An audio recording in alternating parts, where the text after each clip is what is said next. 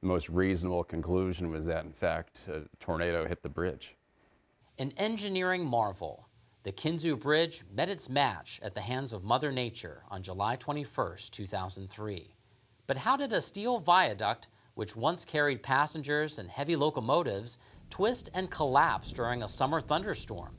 That's what a team of meteorologists and engineers sought to investigate in the days and months following the disaster. It was a seasonably warm and humid day on July 21, 2003. Temperatures in McKean County were in the upper 70s to near 80 degrees, and it was muggy. The high humidity and the lowest levels of the atmosphere, combined with relatively cold air aloft and large wind shear, which is changing wind speed with height, made conditions favorable for thunderstorms to develop. By 3.20 p.m., a storm tore through Kinzua Bridge State Park, ripping hundreds of trees out by the roots and knocking down 11 of the bridge's 20 towers in less than a minute but it was unclear if a tornado was the culprit from an initial look at radar. Mainly this involved looking at the WSR 88D data, looking for signs of a tornado parent circulation. Unfortunately, given the range between the events and the radar, there was no chance to resolve the tornado in the radar data. Really all you could do was see if there was one of these parent circulations called a mesocyclone. And indeed, there was. In some respects, it was like an inland hurricane. If you look at the radar imagery, there was a large scale counterclockwise swirl to a lot of the individual thunderstorms that comprised this convective system. And if you trace back the origins of the convective system, it had gone across Ohio and then Pennsylvania, eventually New York over a period of days. Its origins were actually a large complex of thunderstorms days earlier. So it has a lot of similarity with hurricanes where all of the heating uh, that's given off by lots of individual updrafts in the thunderstorms, that actually can feed back and allow for the formation of a longer lived system that takes on basically an entity of its own and becomes self-propagating and self-perpetuating. Engineers would later confirm that winds gaining in speed hit the bridge in three different directions, lifting the towers from their concrete foundations and throwing them to the ground.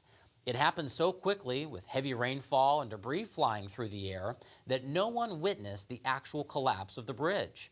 Construction workers who were in the process of refurbishing the bridge, along with park workers, took shelter as trees fell, recounting blowing debris and a guard shack lifted off the ground. After the storm passed and the dust and debris had settled, locals began to assess the damage. It made their way through the trees and said the bridge blew over. We heard that it had fallen, but we couldn't see it or prove it. And the morning paper came out and took a picture.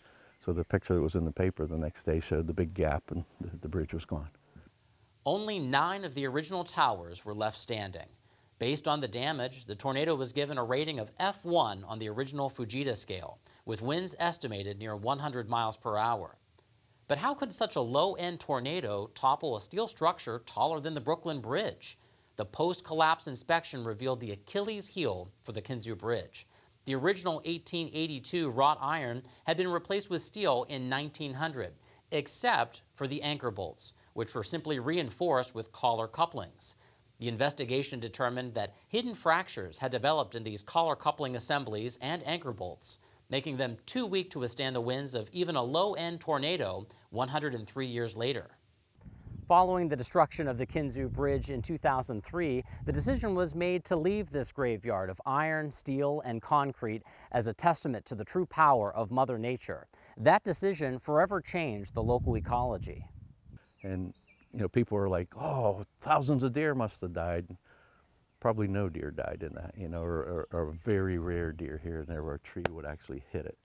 But the effect was the next day the deer had tons more food to eat because all these treetops were available to them, you know. So it's, it's, there's a lot of interesting perspectives to a big windstorm and, and what grows back in the woods after it. So. In the aftermath, Mother Nature has healed. Hardwood forests of black cherry, sugar maples, and eastern hemlock have all returned. Areas where swaths of mature trees were blown down during the tornado now contain a greater diversity of wildlife habitat for black bear, ruffed grouse, snowshoe hares, and more. After the storm that forever changed this landmark, it was time for a new chapter, a reinvention of what remained of the Kinzua Bridge and the state park it resides in. Six of the remaining towers that had already undergone restoration work prior to the storm were reimagined into the Kinzua Skywalk, billed as one of the top 10 most beautiful skywalks in the world following its opening in 2011.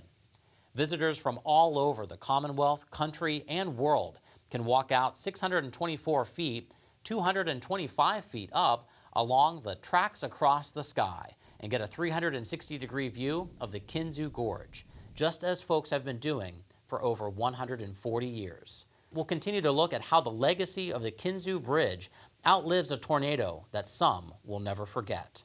For Weather World, I'm Rob Lydick.